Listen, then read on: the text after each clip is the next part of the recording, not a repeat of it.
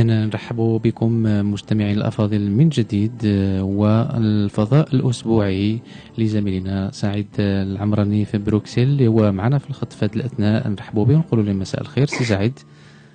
مساء الخير أخ رشيد ومساء الخير لكل المستمعات والمستمعين.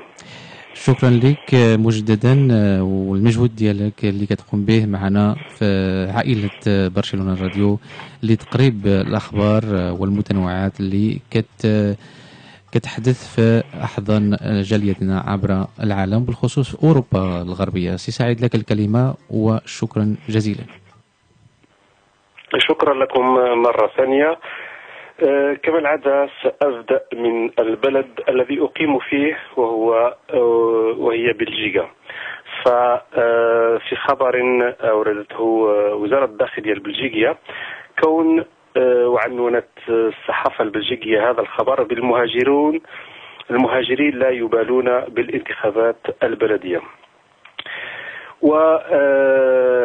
ويذكر على أن ستجرى الانتخابات البلدية في شهر أكتوبر 14 بالضبط 14 أكتوبر المقبل في بلجيكا.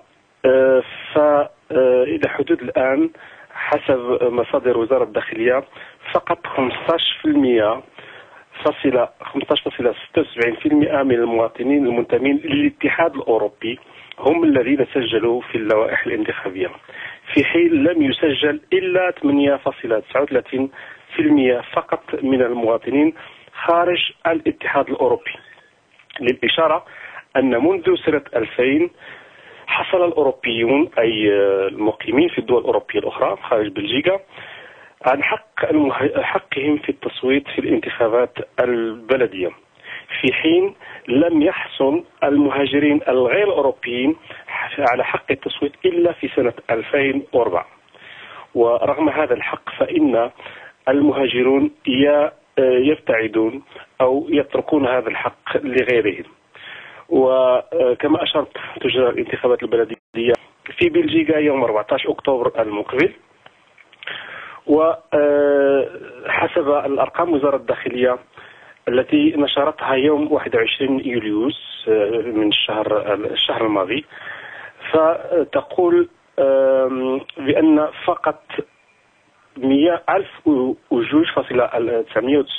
أوروبي هم الذين سجلهم في حين أن عدهم عدد الأوروبيين المقيمين في بلجيكا يصل إلى 652 و946 أوروبي أو شخص. أي بنسبة فقط 15.86% المسجلين.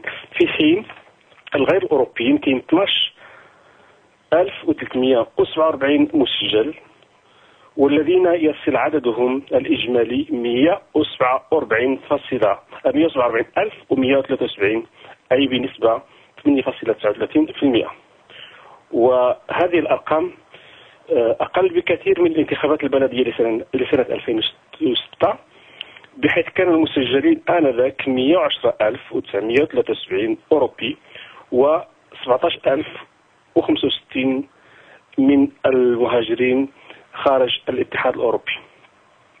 ويذكر والإشارة فقط فأن المواطنين المهاجرين الحاصلين على الجنسية البلجيكية يعتبرون بلجيكا.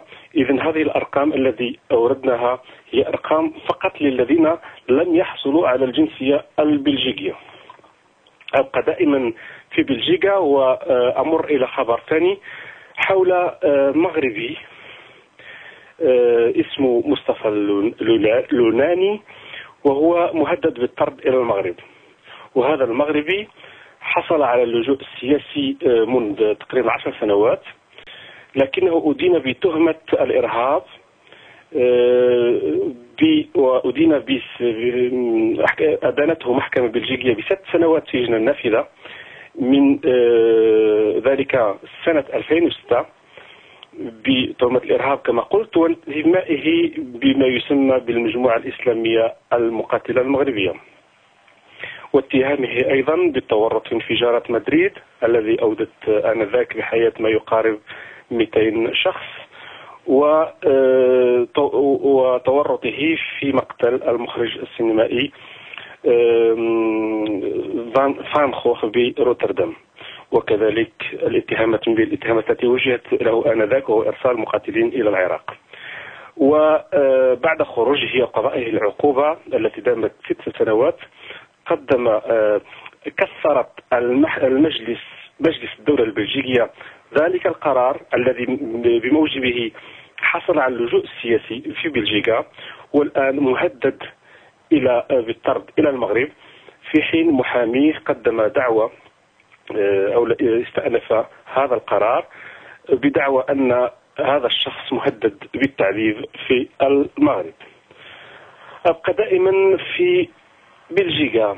كون أنه النصب والاحتيال على المغاربة وخاصة بعض المكاتب الخدمات تابعة للخدمات التابعة للقنصلية المغربية وخاصة منها المكاتب التي تقوم بالترجمة و وإملاء بعض بعض الرسوم إلى غير ذلك. حيث أن هذا الخبر أوردته الموقع أورده الموقع الإلكتروني الجالية 24 يقول الذي توصل بطبيعة الحال الموقع بنسخة من شكاية تقدمت به سيدة مغربية مقيمة ببروكسل القنصل العام بنفس المدينة مدينة. مفادها أن مكتب الخدمات الرباط الموجود بقرب القنصلية قام بابتزازها والنصب عليها.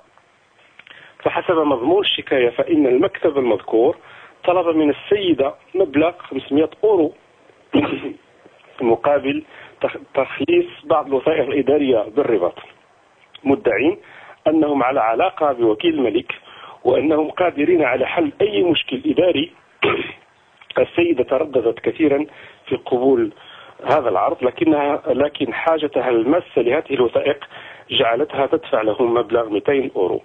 تحت الحساب في انتظار حصولها على الوثائق آه، ومن بعد تكمل لهم الباقي أي 300 أورو. وبعد شهور عادت إليهم حسب الاتفاق ففوجئت أنهم لم يوفوا بوعدهم وأخبروها بأنهم تعثر عليهم إتمام جميع الوثائق وطالبها بتسديد باقي المبلغ. الشيء الذي رفضته السيدة وجعلها تشتكي آه، المكتب المذكور للقنصل العام المغربي ببروكسل. جدير بالذكر أن آه، أن العديد من الجمعيات تتناول هنا هذا الموضوع في مقا... آه، في, في وشكايات في وتوصلت بشكايات مماثلة.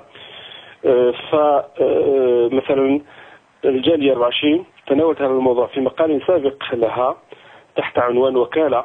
أمام القنصلية المغربية ببروكسل تستغل المواطنين وتكرس الفساد.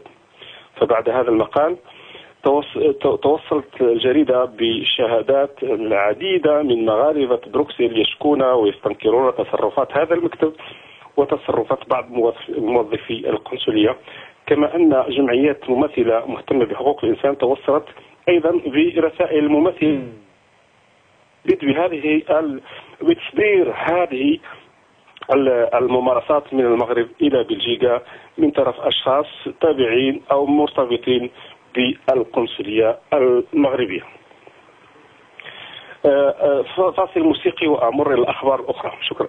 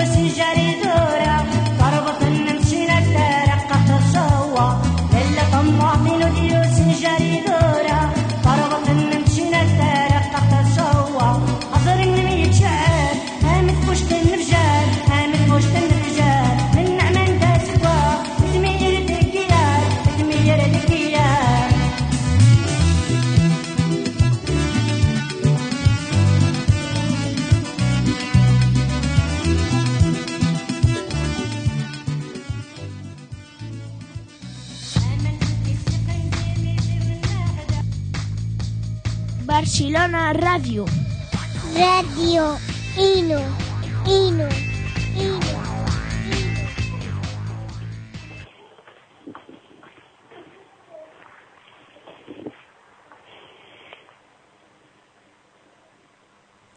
إذا نعود مع الزميل سعيد العمراني ورسالته من بروكسل شكرا سي سعيد شكرا الاخ رشيد الأمر مباشرة إلى فرنسا.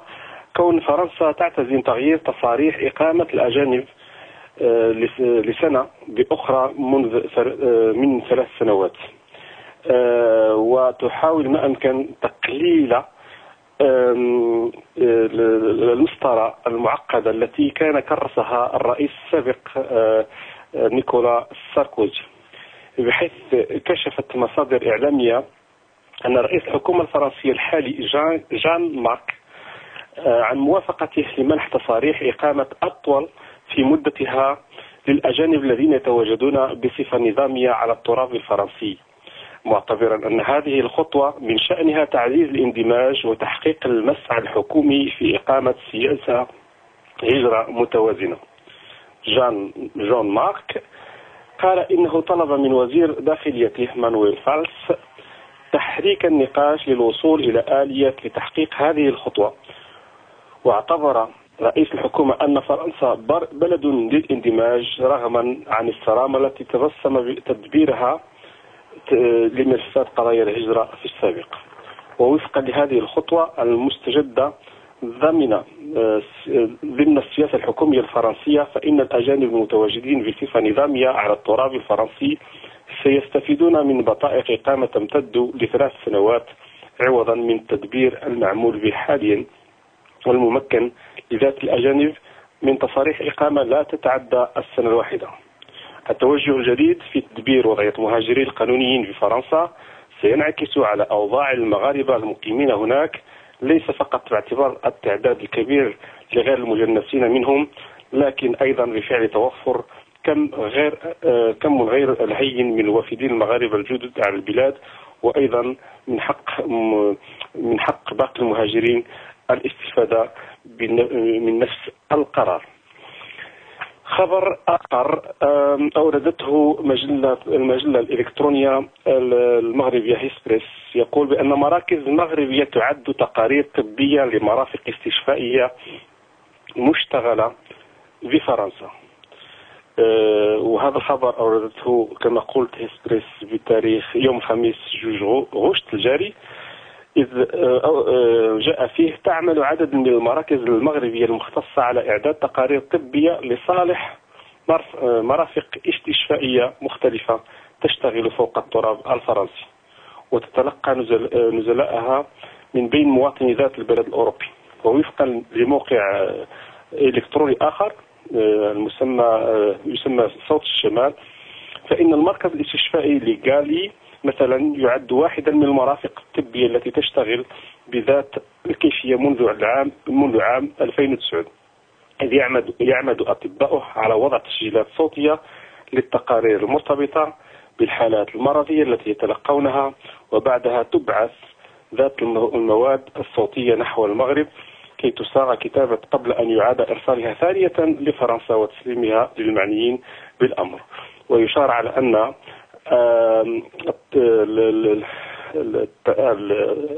البرامج التعليمية والصحية في المغرب آه، تعد بمثابة مختبرات ليس إلا لبعض المختبرات الأجنبية وعلى رأسها المختبرات الفرنسية.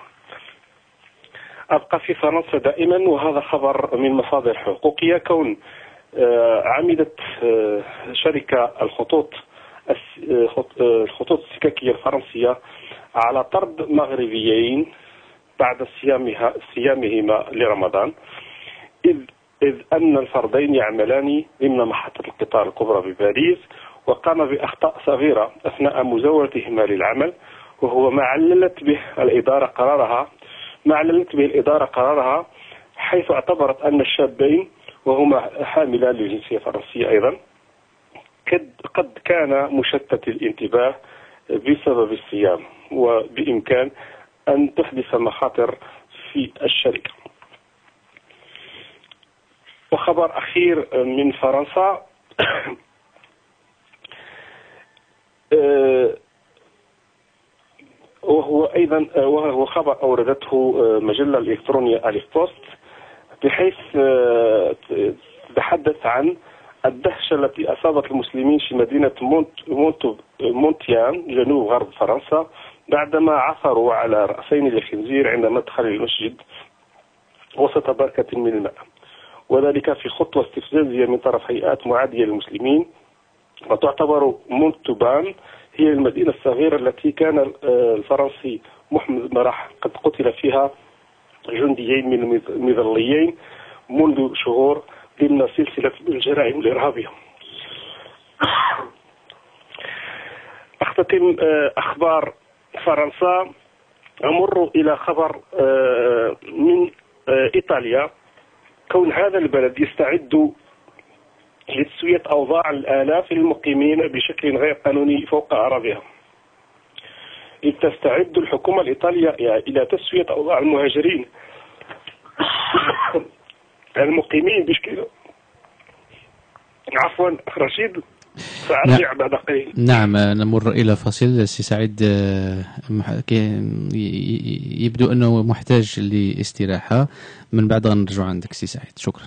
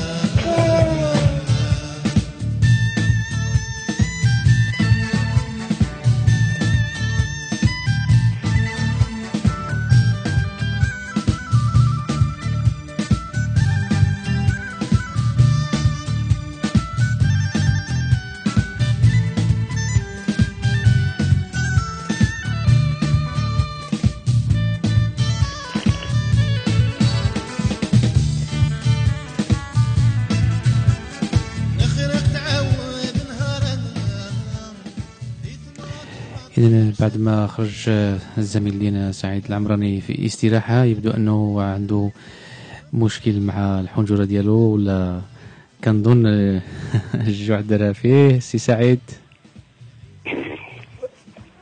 ألو؟ أهلا وسهلا أهلا. آه ممكن على كل حال سي سعيد ممكن بإيجاز الاخبار نعم التي تمكنت من الحصول عليها. قلت على أن سي سعيد اذا سمحتي؟ اذا سمحتي سي سعيد غير بغيت نقترح عليك آه، إلى إلى الوضعية الصحية ديالك والحنجرة ديالك بالتدقيق آه، ما كتسمحش آه، ماشي ماذا بينا ماشي مشكل لأن سميتو نستغنيو ونخليو ما تبقى من الأخبار الحصه المقبلة إن شاء الله. كما بغيتي. إن شاء الله. اتفق مع القرار وشكرا. بارك الله فيك سي سعيد. ومعذره بالشفاء العاجل. شكرا.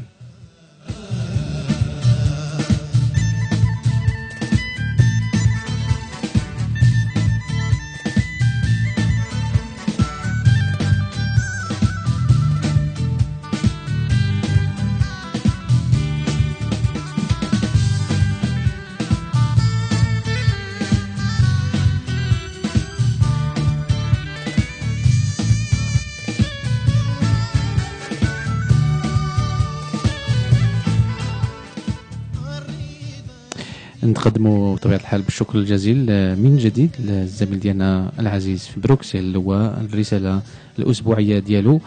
أثرنا آه، أثرنا الصحه ديالو على آه، الأخبار رغم أن الأخبار حتى هي مهمة لكن آه، الصحية الصحة هي الأولى.